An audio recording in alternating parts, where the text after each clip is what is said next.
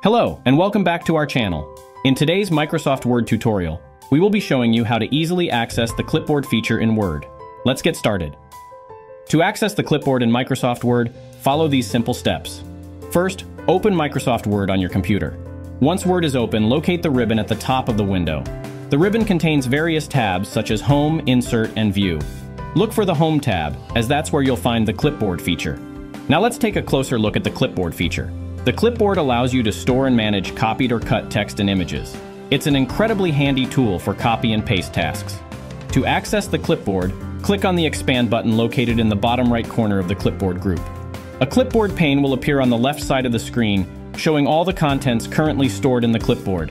Here you can see previously copied or cut items. To paste an item from the clipboard into your document, simply click on the desired item in the clipboard pane.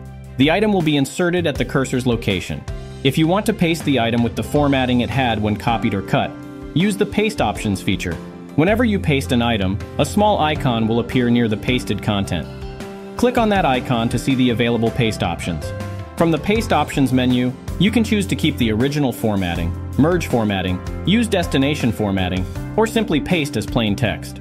It's worth mentioning that you can also clear the clipboard by clicking the Clear All button in the clipboard pane. This removes all the items from the clipboard, giving you a fresh start. And there you have it.